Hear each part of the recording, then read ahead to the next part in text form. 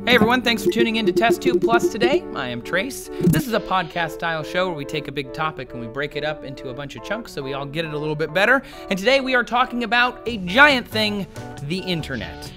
Yesterday we talked about what the internet is and how data gets from you to the computers on the internet and back again.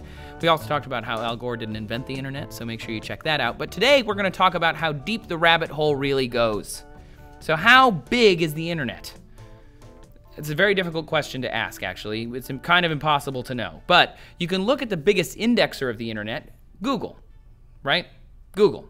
Eric Schmidt, CEO of Google, world's largest index of the internet. Remember, they don't create the internet, they don't make the internet, they just tell you what's out there. They're like the table of contents for the internet. And they estimated the size of the internet as roughly 5 million terabytes of data. That's a lot. It's over 5 billion gigabytes. It's a lot of data. 5 trillion megabytes. Are you getting this? It's a lot. Schmidt further noted that in his seven years of operations, Google has indexed roughly 200 terabytes of the internet, or about 0.004% of the total size of the internet.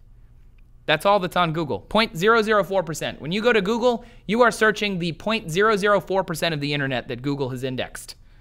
Isn't that crazy? It is. The internet's big. Russell Seitz took estimates for the size and traffic of the entire internet and compared that to the weight of the electrons needed to move a byte of information around. This is another way to measure the size of the internet, right? A byte is a tiny piece of information. A megabyte is 1 million bytes. So, although minuscule, individually, trillions and trillions of bytes can add up when you take them as a group. So, if you look at it this way, the internet, according to Russell Seitz, weighs two ounces. that's, that's great. I love that. I could drink the entire internet. it's crazy. The deep web is part of the internet as well. And this is part of the reason Google hasn't indexed more than it has. Uh, the deep web is the unindexed internet. It's basically parts of the internet that tell search engines like Yahoo and Google and Bing and all of the other ones to ignore these pages. So think universities and libraries with login level access, things that are secured websites, they can't see that. That's the deep web. Or your email, those are technically websites. If you use Gmail, that's a website on Google's server that you are accessing but that's in the deep web, so that's not included in their index. There are also other websites that are just behind walls, like Facebook is pretty much most of that information is publicly available, but they tell Google not to index all of it and only index the profile pages and then get your way into the other parts. Google, Bing, and stuff, they only capture about 1% of all of the internet's pages. So just imagine how much you're not seeing that is out there. And it is available. If you had the URL, there are ways to access it. And that is how the dark web works. You've probably heard them both. The deep web, not scary, just stuff that's unindexed. The dark web, that's part of the deep web, and it is kind of scary. This is the nocturnality of the web. It's a network that lays over the public internet, but requires specific software and configurations or authorization to access it. The most popular browser that you would need to access the deep web is Tor, which uses a virtual tunneling system that acts like a multi layered virtual private network. You're basically creating a private and encrypted connection with a server somewhere. Everything you do on Tor is encrypted, so no one knows what you're looking at, not even the government. It's actually pretty popular in places where the government snoops on your internet usage. You can use a VPN or virtual private network, and Tor, the government can't see what you're looking at.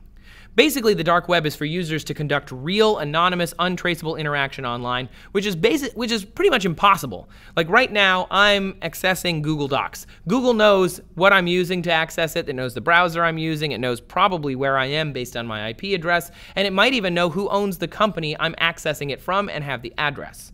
All of that's information that Google just knows because I'm logged in. It's crazy. But using Tor, a lot of that is blocked.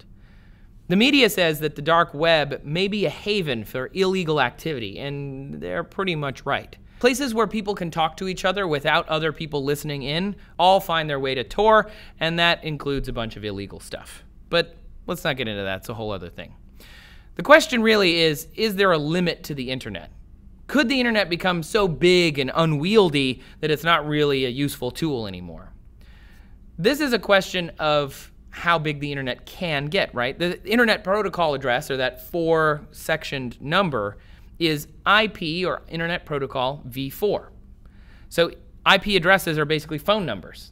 The DNS service looks up what the name for that phone number is, but it does it in reverse. So if I type Google DNS, looks up the IP address for Google in my area and lets me access it. I don't have to remember that Google's IP address is 75.15. whatever, whatever, whatever.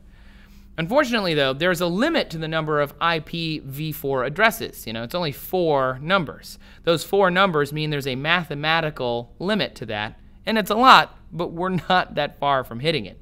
Asia ran out of IPv4 addresses in 2011. Europe ran out in 2012. North America is running out now.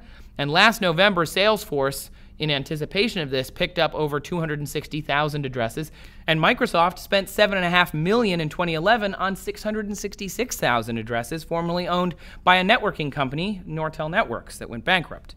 So companies that run out of their IPv4 addresses, they're not, I mean, they're not screwed, but they've been planning for this, but it's not a good place to be. Because there is something called IPv6. It adds two more groups of numbers to the end of the IP addresses, and about 9% of the internet, says Facebook's Paul Saab, is on IPv6 already.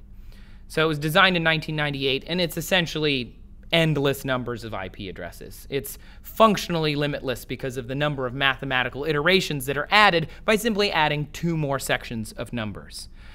The problem is it's kind of complicated because right now it'd be like if you have to start dialing the area code on your phone and you didn't used to. It adds a lot more numbers, but it makes things a little more complicated. But you don't have to buy a new phone. In this case, you do.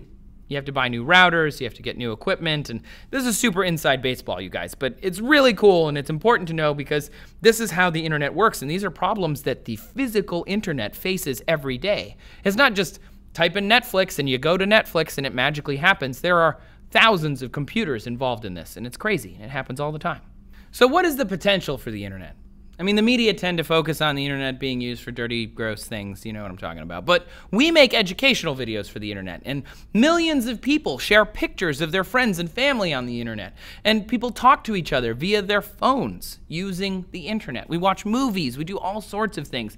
Most of the internet is used for being social and connecting with each other.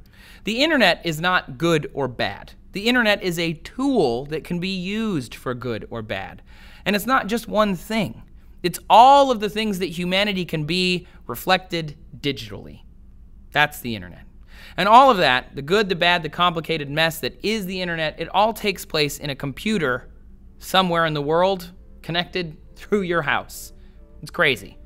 And inside that computer that a lot of you use is a chip from our sponsor of today's episode, Intel. Having Intel inside makes for better experiences outside. So that's it for today. We have another great video coming your way tomorrow, so make sure you subscribe to TestTube Plus so you get that, and make sure that you comment down below on what you think of the internet. Maybe what's your favorite website that people don't know about? Why don't you tell us about it? I used to love homestarrunner.com. It's the best. Anyway, thanks for watching TestTube Plus, and we'll see you tomorrow.